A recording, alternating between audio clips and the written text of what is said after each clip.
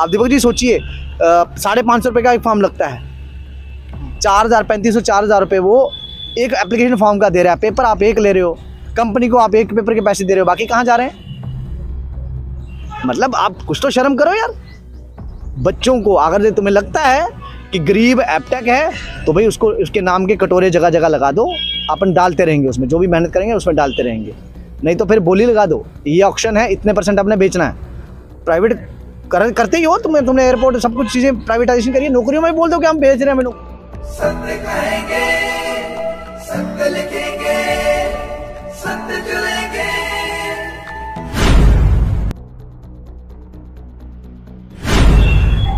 जेके SSB की तरफ़ से नया एग्ज़ाम कैलेंडर जारी कर दिया और इस बार दोबारा से जो पेपर कंडक्ट करने वाली एजेंसी है वो एपटेक ही है।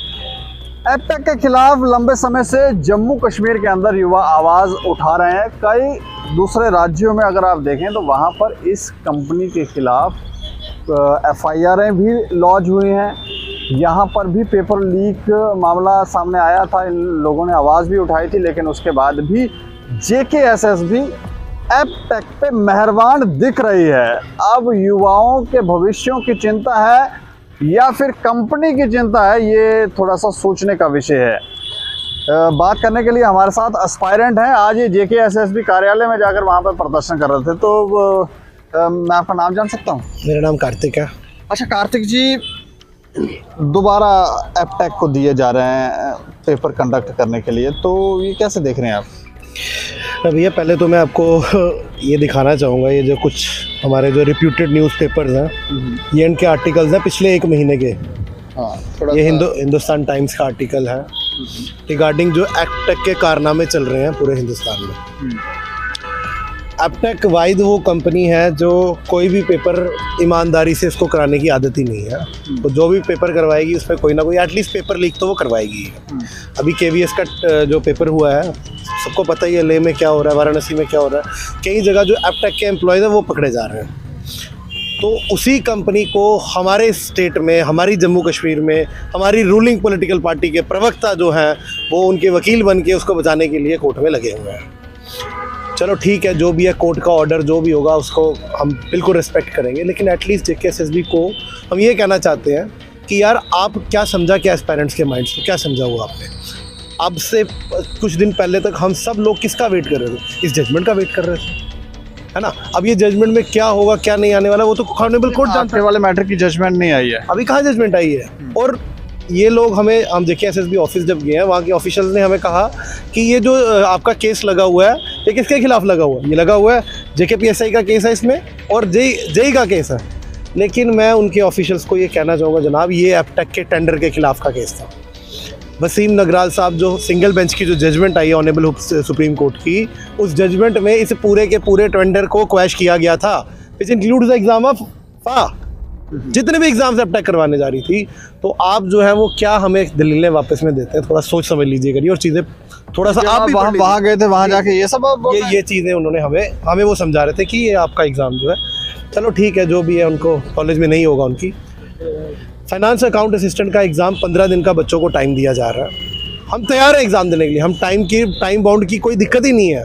प्रिपेयर कर रहे हैं दो सालों से यार इनके चक्करों में लगे हुए हम। लेकिन हम एग्ज़ाम एपटेक को नहीं देंगे।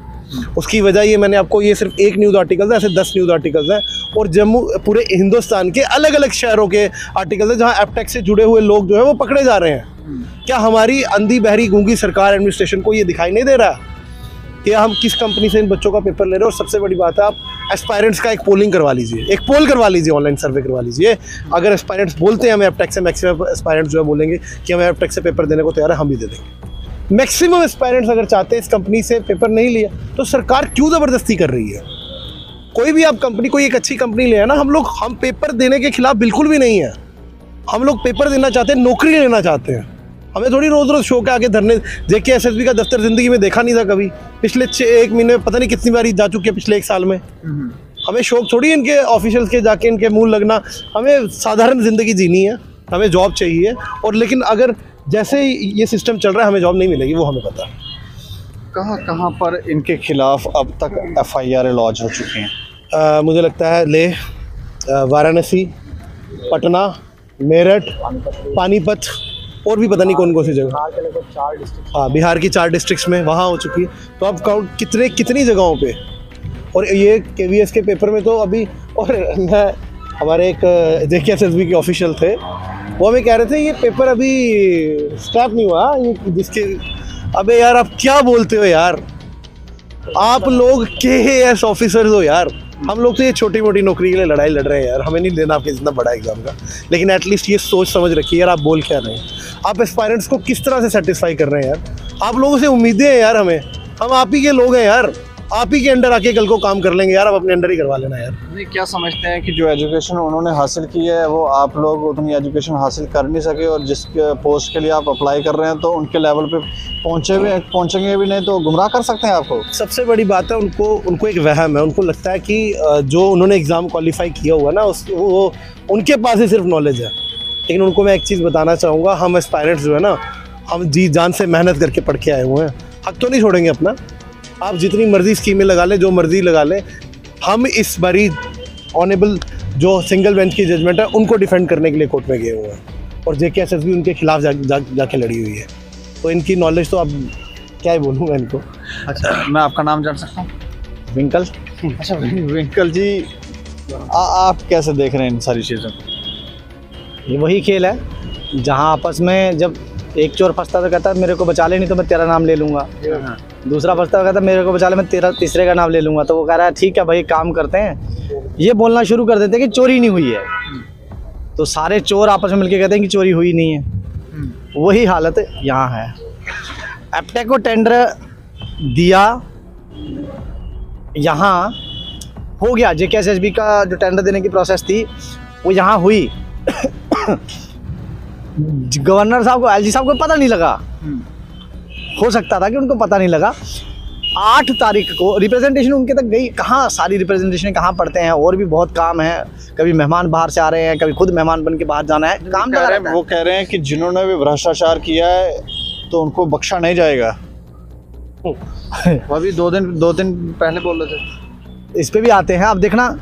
ले में पेपर लीक होता है तो ले के एलजी साहब वहाँ उनको बुलाते हैं, जो एसआईटी के टीम मेंबर्स हैं, उनको बुलाते हैं। हालाँकि काम उनका एक वो अलग एडमिनिस्ट्रेटिव यूनिट है, वो अलग कैसे करेंगे, लेकिन उनको बुलाते हैं और पूछते हैं कि कैसे हुआ है और उसके ऊपर कार्रवाई हो।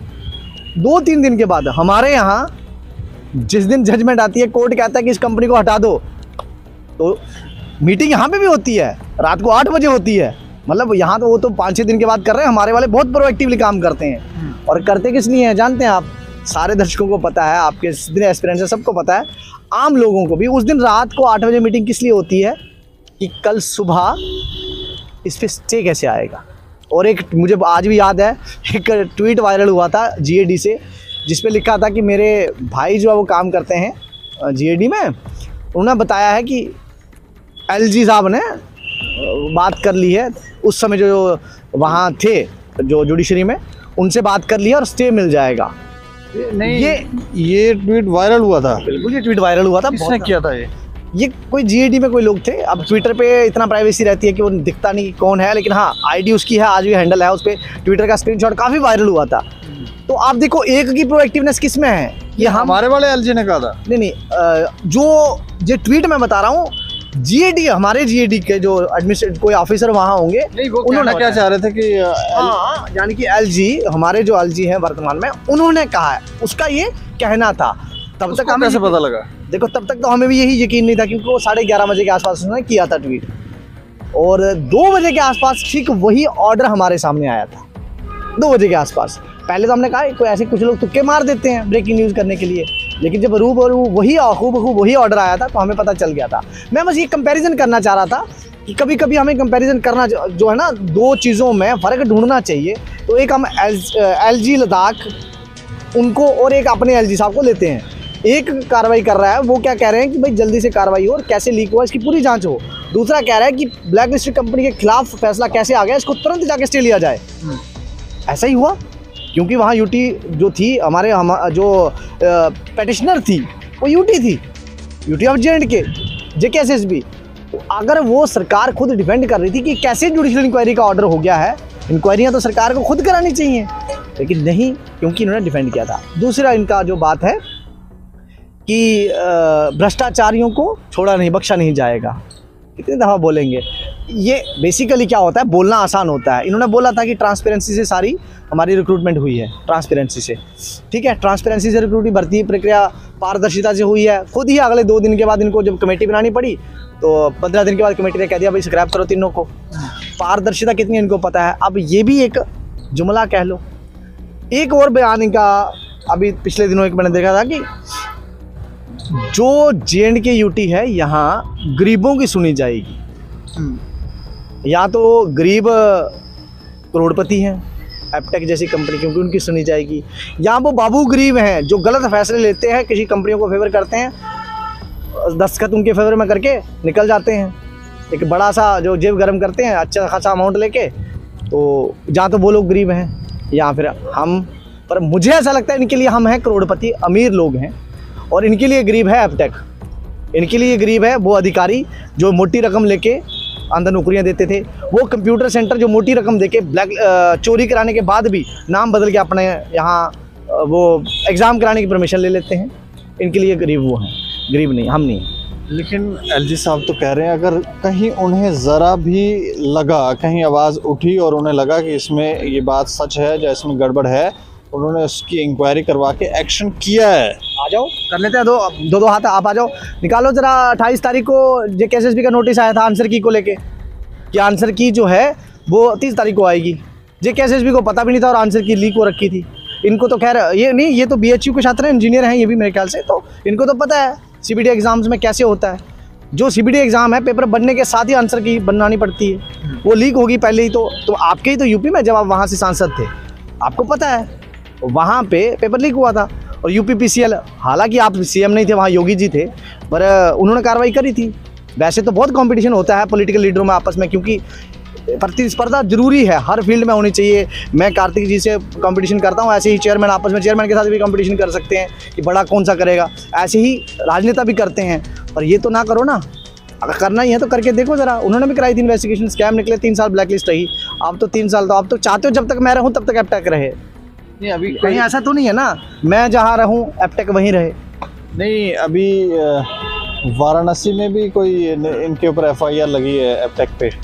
वाराणसी में एपटेक का सिटी हेड हाँ उसके साथ 21 लोग पकड़े गए हैं। इक्कीस लोग। 21 लोग अरेस्ट हो गए हैं। आज की डेट में जुडिशियल कस्टडी में है। 21 नंबर बहुत छोटा हो सकता है एलजी प्रशासन के लिए लेकिन 21 लोगों ने एक बंदे को तो नकल कराई नहीं है। पहली बात 21 लोग जब अरेस्ट हुए हैं वाराणसी में उसमें एक एपटेक का सिटी हेड है वो सैलरीड एम्प्लॉयड है एपटेक का। और जिसको अगर जानकारी नहीं है हो सकता है कुछ वकील भी होंगे जिनको जानकारी नहीं है एपटेक का जो पीसीएल में जहाँ ये ब्लैक लिस्टिंग हुई थी इसकी वहाँ इसके एम्प्लॉयज़ ही शामिल थे। आदरणीय योगी जी ने उसको तीन साल के लिए जब ब्लैक लिस्ट किया था। हम तो आदरणीय अपने एल साहब को भी कह सकते हैं ऐसा नहीं है वो भी आदरणीय है हमारे लिए। लेकिन अच्छा कई तो बार ऐसा होता है कि मुँह पे नहीं भी वर्ड आता है कब भी रखना पड़ता है तो शब्द दिल से निकलना और मुँह से निकालने में थोड़ा फ़र्क है। लेह लद्दाख का थोड़ा सा हमें बताएँ कि वहाँ पर क्या माम- मामला चल रहा है? वहाँ एक सुपरवाइज़र है एफ़ आई आर कटी है उसमें F I R S I T बैठी है तीन मेंबर शायद उसमें है। एक सुपरवाइज़र है वो पेपर क्लिक कर फ़ोटो क्लिक कर रहा है पेपर का। तो वहाँ पे कोई जो जैसे सरकारी अधिकारी जैसे रहते हैं ना, क्या कहते हैं उनको हम ऑब्जर्वर वो हैं तो उनको लगा कि ये ठीक नहीं है कंडक्ट रूल के खिलाफ है तो उन्होंने उसको फ़ोटो क्लिक किया। वो जैसे अधिकारी ने फ़ोटो सुपरवाइज़र ने फ़ोटो क्लिक किया तो उन्होंने उसको कंप्लेंट कर दी कि ये जो ठीक ऐसा हुआ है, इस बंदे ने करा है सुपरवाइज़र है, उसके खिलाफ कंप्लेंट करी, आप इसको इन्वेस्टिगेट करिए। पुलिस ने रंगे हाथों उसको पकड़ा। बाकी में उसके पास फ़ोन मिला। फ़ोन में सुनने में ऐसा आया कि बड़े बड़े अधिकारियों के, जो कंपनी के अधिकारियों के फ़ोन नंबर थे कॉन्टैक्ट्स थे। अब मामला कहाँ तक उठता है? क्योंकि करोड़पति कंपनियाँ हैं, जब दबता है तो दब ही जाता है। पर मुझे लगता है, वहाँ जो जो टीम है, उसके ऊपर प्रेशर नहीं आएगा। वो प्रेशर को बेयर, आता है, ऐसे मामलों में प्रेशर आता है, वो बेयर करेंगे। वो अधिकारी, वो वो जो एपटेक का जो एम्प्लॉय था, वो पेपर भेज रहा था, बाहर हरियाणा में कहीं। और जितने भी ये सेंटर हैं, सारे किराए पे दे रखे हैं इन्होंने बाहर वाली कंपनियों। आप जानकर हैरान होंगे, एक तहसीलदार का पेपर, एक पटवारी का पेपर, वो करा, ले कौन, पेपर में ड्यूटी पता कौन दे रहा है?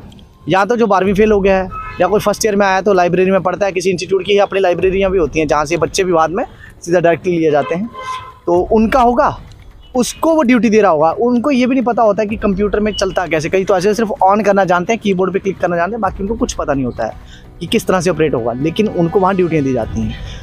आज की डेट में अगर आप पूछेंगे कि जो पिछले सीबीटी एग्ज़ाम हुए, जिनके ऊपर इरेगुलरिटी के एलिगेशन लगे हैं, उनका देखा जाएगा कि किस, किसने ड्यूटियाँ दी हैं। मैं चैलेंज करके कह सकता हूँ, उसमें एक भी सरकारी अधिकारी नहीं होगा। ग्रेजुएट आपको मिल जाएगा दो तीन परसेंट लेकिन ज़्यादातर कम मिलेंगे। क्यों? सस्ती लेबर जे में उपलब्ध है। जहाँ आप सरकारी बंदी को पाँच मतलब पंद्रह सौ, दो हज़ार रुपये देना पड़ेगा। तीन सौ रुपये में कोई भी लाइब्रेरी से आपको स्टूडेंट मिल जाएगा, आपको क्या है उसको? कहना ही है कि फॉर्मल पहन के आ जाना? ले लगते हैं। उसके बाद उसने क्या किया, क्या नहीं, कोई पता नहीं। क्वालिटी इतनी गिराई हुई है, वो जान के। लद्दाख में बिल्कुल इसी तरह से हुआ था। और यही चीज़ बिहार में, जो आप न्यूज़पेपर कटिंग दिखा रहे थे, पंद्रह फरवरी को एक बहुत रेपुटेड अगर मैं नाम ले सकूँ तो मैं नाम लेना चाहूँगा, दैनिक भास्कर एक अखबार है। उसने, उसका जो पटना का संस्करण है, पंद्रह का उन्होंने छापा कि रिमोट मोड में सिस्टम लिए जा रहे हैं। और पेपर में चोरी हो रही है, कई सारे सेंटरों के नाम लिए। लेकिन डिपार्टमेंट जैसे दबाता है मसला, और इसमें कहीं ना कहीं केंद्र सरकार में इसका कोई ना कोई बंदा बैठा हुआ है। एपटेक का, मैं इस पर भी बताऊँगा कि कैसे। वो जो वहाँ उन्होंने कंप्लेन करी एपटेक के जो उन्होंने दैनिक भास्कर ने खबर करी 16 तारीख को पानीपत में पाँच लोग अरेस्ट हुए। और वो वही के वी एस का ही पेपर जो है, उसको पेपर में चोरी करा कर रहे थे। उनसे कंप्यूटर भी सीज किए गए। एफ़ आई आर उनके ऊपर हुई और उन्होंने माना कि हम ये एक आई टी आई कॉलेज से पेपर कर रहे थे। कहाँ बिहार और कहाँ पानी, इधर पानीपत, हरियाणा में इतनी दूर से वो पेपर करा रहे थे? और पेपर लेने वाली कंपनी कौन सी थी? एपटेक अब यहाँ बात आती है कि एपटेक का तो अपना सॉफ्टवेयर है। लेकिन भाई वो सॉफ्टवेयर वही है जो 2018 में यूपी में था। जिसको कोई भी जिसमें से सेंध मार सकता है। मारी है उसने सेंध। मैं केंद्र सरकार को लेके क्यों कह रहा हूँ? जब तक ये यूपी में ब्लैक लिस्टेड थी, तब तक स्कैम रुके हुए थे। पेपरों में चोरियाँ नहीं हो रही थी। उसके बाद इसने जो भी पेपर कराया है, इक्कीस ले लो मतलब सेंट्रल गवर्नमेंट में। सेंट्रल गवर्नमेंट में इसको टेंडर मिले। कुछ जगह सेंट्रल गवर्नमेंट में रोका, उसके बाद इसको दस लाख रुपये फाइन भी हुआ एपटेक को। लेकिन बाद में पार्टी फंडिंग चलती है, सबकी चलती है, मुझे पता है, इनका, हमने पिछली बैरी ट्रैक थी, उसने तो देश की सबसे बड़ी पार्टी को फंडिंग दी हुई थी। देते हैं ये। तो वो कंपनी, उसके बाद सेंट्रल गवर्नमेंट में टेंडर मिलना शुरू हुए। टेंडर का पैसा बच्चों से निकला, बेड़ा घर का बच्चों का हुआ। इस बार फिर से, यहाँ आप देखेंगे फाइनेंस अकाउंट असिस्टेंट का लगभग एक लाख नब्बे हज़ार बच्चा पेपर दे रहा है। पर कैंडिडेट दो सौ बत्तीस रुपये दो सौ तीस रुपये चार्ज करेंगे टैक्स अलग से। अगर ये paper O M R based single Ranbir press में छपता है सरकारी खुद तंत्र सरकार के पास टीचर हैं सेंसिस के लिए कैसे आ जाते हैं टीचर क्यों उनको टीचर को जिसका काम है परीक्षा लेना परीक्षा देना परीक्षा करवाना जो एक्सपर्ट है उनको क्यों नहीं लेते हो? अगर रणबीर प्रेस में पेपर छपता है साठ से सत्तर रुपये में जे के भी पेपर करा सकती है। ज़्यादा से ज़्यादा अस्सी रुपये क्योंकि कॉलेज हमारे यहाँ टैक्स पेयर मनी से कॉलेज बना हुआ क्यों प्राइवेट इंस्टीट्यूट में जाना पड़ता है? प्राइवेट इंस्टीट्यूट को क्यों पैसा जा रहा है आप बिज़नेस कॉर्पोरेट्स को फेवर नहीं कर रहे हो? और भी किसका है ये? ये है किसके? इन्हीं बड़े बड़े नेता होंगे इससे पहले एक कश्मीर का बहुत बड़ा लीडर था एक पोलिटिकल पार्टी का उसके थे। अभी यहाँ है तो ये भी किसी न किसी पार्टी के हैं। ये शायद देश की दूसरी सबसे बड़ी पार्टी के उसके बंदे के हैं यहाँ बड़े सेंटर्स ये कॉरपोरेट को फेवर करने के लिए प्राइवेट उनको कह रहा है। सरकार कह रही है हम टोटली डिजिटल डिजिटल हो गए मैं हो सकता है लंबा हो रहा है लेकिन आप देखिए सरकार कह रही है हम डिजिटल हो गए टोटल काम तो तुम सारे प्राइवेट इंस्टीट्यूशन इंस्टीट्यूशन से करवाते हो। जहाँ तो तुम उनसे पैसे ले रहे हो डिजिटल में, क्योंकि डिजिटल मनी तुम्हें कहीं आ रहा है किसी और उसमें, यहाँ तो फिर तुम दूसरों को धोखा दे रहे हो। सेंटर अगर सरकारी कॉलेज सरकारी स्कूल जहाँ है अच्छा इंफ्रास्ट्रक्चर है, इसी बहाने से वहाँ इंफ्रास्ट्रक्चर भी इंप्रूव होगा। आप कराते हैं अस्सी रुपये में जो पेपर होता है, कम से कम बच्चों के ऊपर वर्जन कम बढ़ेगा। एक बच्चे के आप एक पेपर लेते हो, पाँच फॉर्म लगवाते हो, सात फॉर्म लगवाते हो। एक पेपर लेते हो, सात फॉर्म आप दीपक जी सोचिए साढ़े पाँच सौ रुपये का एक फॉर्म लगता है। चार हज़ार, पैंतीस सौ चार हज़ार रुपये वो एक एप्लीकेशन फॉर्म का दे रहा है पेपर आप एक ले रहे हो कंपनी को आप एक पेपर के पैसे दे रहे हो, बाकी कहाँ जा रहे हैं? मतलब आप कुछ तो शर्म करो यार। बच्चों को, अगर तुम्हें लगता है कि गरीब एपटेक है तो भाई उसको, उसके नाम के कटोरे जगह जगह लगा दो, अपन डालते रहेंगे उसमें, जो भी मेहनत करेंगे उसमें डालते रहेंगे। नहीं तो फिर बोली लगा दो, ये ऑप्शन है, इतने परसेंट आपने बेचना है। प्राइवेट कर, करते ही हो तुम्हें तुमने एयरपोर्ट सब कुछ चीज़ें प्राइवेटाइजेशन करिए नौकरियों में बोल दो कि हम भेज रहे हैं, हमें नौकरियाँ। तो हमें एक हो जाएगा भाई इतना परसेंट बिक रहा है। वहाँ हम फाल करते नहीं करते हैं। दलालियाँ करते करते इनको शर्म ही नहीं आ रही है। पर सारी चीज़ें छोड़ते हैं अभी के लिए एग्ज़ाम कैलेंडर पे, जो कार्तिक भाई ने भी बोला, सबका। एग्ज़ाम कैलेंडर लेके आने के पीछे का उद्देश्य सिर्फ़ इतना है। जो ये पहले भी करते हैं माय लॉर्ड हमने एग्ज़ाम कैलेंडर अनाउंस कर दिया है शेड्यूल कर दिया है माय लॉर्ड बच्चे डिस्टर्ब हो जाएँगे, बहुत परेशानी होगी माई लॉर्ड हमें स्टे दे दो इस पर इंटरिम के लिए। यही स्टे इन्होंने पिछली बार भी लिया था जेके पीएसआई में। फाइनेंस में लिया फाइनेंस में नहीं लिया था? वो मैटर अभी विचाराधीन है। जो पिछले विचार दिन का उस पर एफ़ आई आर है। हाँ हाँ। जे के इस समय एफ़ आई आर के अंडर है मतलब जे के एस की जो चेयर है उसके ऊपर एफ़ आई आर चल रही है। चेयर पे चल रही है कंट्रोलर की चेयर पे चल रही है। तो ऐसे इनकी क्योंकि ऑफ़िस है ना तो इनका पब्लिक इनकी प्रॉपर्टी तो है नहीं है। पब्लिक प्रॉपर्टी है तो पब्लिक को, को जब इन्होंने हार्म किया तो उनके ऊपर एफ़ आई आर कटी। अच्छा अंत, में क्या चाह रहे हैं आप? मेरा सरकार से ये रिक्वेस्ट है कि आप जजमेंट का इंतज़ार करिए और जैसे ही जजमेंट आती है ये सरकार का है क्योंकि जे के एस बी के पास उन्होंने पावरें कहाँ छोड़ी हैं? ऊपर से लेटर आता है लिख के। तो आप अपने आप को भी हो सकता है आपको जुडिशल इंक्वायरी से दिक्कत होगी। मुझे पता है होगी कईयों को होगी। बट बच्चों को वो दिक्कत हुई ना। तो जैसे पिछले वालों को यहाँ से रातों रात भागना पड़ गया रातों रात कईयों को ट्रांसफ़र करके निकालना पड़ गया कि भाई मामला ज़्यादा खुलेगा तो तेरा नंबर आ जाएगा। वैसे आपका नंबर भी आ जाएगा। कायदे से यही है, झुकना आसान है, झुक जाओ। जो पेड़ तूफ़ानों में खड़े रहते हैं ना, वो टूटते हैं, जो झुक जाते हैं, वो दोबारा तूफ़ान के बाद खड़े रहते हैं। तो हमने तो ये ठान रखा है कि भाई अपनी या तो हो जाओ ईमानदार, नहीं तो रहोगे बेरोज़गार। जो आप जितने मर्ज़ी पैसे ले लो, जितने मर्ज़ी लोगों से पैसे ले लो, वो नहीं निकलने वाले आप। ये हर एक लिस्ट के साथ यही होगा। एक एक चुन चुन के स्कैमर है ना बाहर निकालेंगे। इतना रिकॉर्ड इतना डाटा तो हमारे पास है। अब तुम कर लो। तुमने ये कह लो कि तुम हम ये इनका चलेगा। अभी ये चलेगा कि हम सिर्फ़ रोल नंबर वाइज देंगे रिज़ल्ट देखेंगे तुम कैसे देते हो। तुम कुछ भी कर लो। जो चोरी है वो हम दिखाएँगे। अच्छा अंत में आप कुछ कहना चाहते हैं? मैं बस प्रशासन से यही रिक्वेस्ट करना चाहूँगा कि एटलीस्ट अभी ये जो आपने कैलेंडर निकाला है आप इसको थोड़ा सा डेफर कर दो। बिकॉज़ अभी जजमेंट जो है वो आने वाली है। जजमेंट अगर आ जाती है तो ये तो ऑटोमेटिकली सिलेंडर का कोई रेलिवेंस नहीं रहेगी। तो क्यों आप एस्पायरेंट्स के माइंड में वो डाल रहे हैं? कुछ एस्पायरेंट्स से मेरी बात हो रही थी, वो कह रहे थे कोई एक सेंटर का एग्ज़ाम आ रहा है, हम उसकी एटलीस्ट तैयारी कर दें तो ये खिचड़ियाँ बन जाती हैं तीन चार एक साथ। अभी रिसेंटली के का पेपर ख़त्म हुआ है तो के का जब पेपर ख़त्म हुआ, उन बच्चों को चार से पाँच दिन का, दस दिन का टाइम मिलेगा उनको स्टडी करने के लिए। तो एटलीस्ट आप पंद्रह से बीस दिन का टाइम दे दो, ताकि बच्चे अपने आप को एक, उनको टाइम मिल जाए। प्लस हमारी जजमेंट आ जाए जो भी डीबी की जजमेंट है जजमेंट के बाद जो होगा वो हम उसे एक्सेप्ट एक्सेप्ट करेंगे। क्योंकि कोर्ट से हमें उम्मीद है वो इनजस्टिस नहीं करेगा। एपटेक को अगर चेंज कर दिया जाए। अगर एपटेक को चेंज कर दिया जाए आप वी आर रेडी मुझे लगता है हर एक एस्पायरेंट रेडी है पेपर देने के लिए। दो दो साल से सर लगे हुए हैं तैयारी करने लेकिन सिर्फ़ क्या आता है एक कभी एक पेपर कभी दूसरा पेपर वो जो करिकुलम में डिफरेंस होता है उस वजह से थोड़ा परेशान हो जाते हैं। बाकी एस्पायरेंट्स को यही कहूँगा आप सब लोग बहुत सारे एस्पायरेंट्स बोल रहे थे कि हमने ग्रीवांस डालनी है तो आप ऑनलाइन ग्रीवांस डालें जे की वेबसाइट पर जाके कि एपटेक के खिलाफ हमने एपटेक को पेपर नहीं देना है।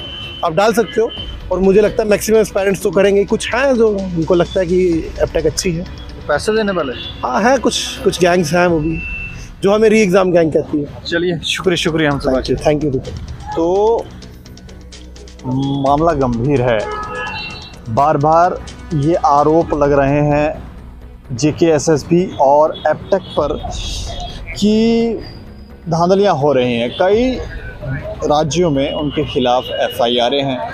यहाँ पर भी बातें बाहर निकली थी कि यहाँ पर भी धांधली हुई है, भ्रष्टाचार हुआ है, पेपर लीक हुआ है। लेकिन उसके बावजूद भी ऐसा लगता है इन एस्पायरेंटों को कि जे के एस एस बी या फिर यहाँ की जो यूपी प्रशासन है, वो एपटेक के समर्थक में, समर्थन में है। क्यों है?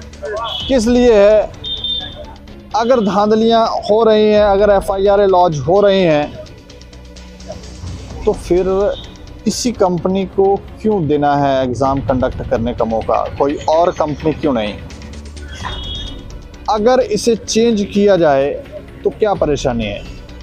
इस खबर के ऊपर आप प्रतिक्रिया रखें और देखते रहें दैनिक समाचार, मुझे और मेरे सहयोगी राजीव गुप्ता को दें इजाज़त। नमस्कार।